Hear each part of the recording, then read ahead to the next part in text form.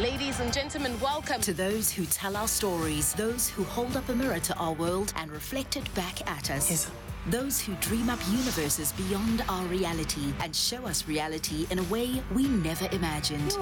those who take fact and fiction and make it art. To those who bring MultiChoice's stories to life. We are proud to celebrate your over 170 SAFTA nominations and applaud your exceptional work across every genre and discipline. With you, our stories are in safe hands, hands committed to the art and craft of local film and television. Congratulations. Join us as we celebrate our storytellers at the 2024 SAFTAs on Saturday, the 26th of October at 8 p.m. on Mzansi Magic DSTV channel 161. It's going to kill. Here's to those who dream, who craft, those who act, direct, inspire, and leave a legacy. To those who tell our stories, thank you for reflecting back the beauty of Mzansi.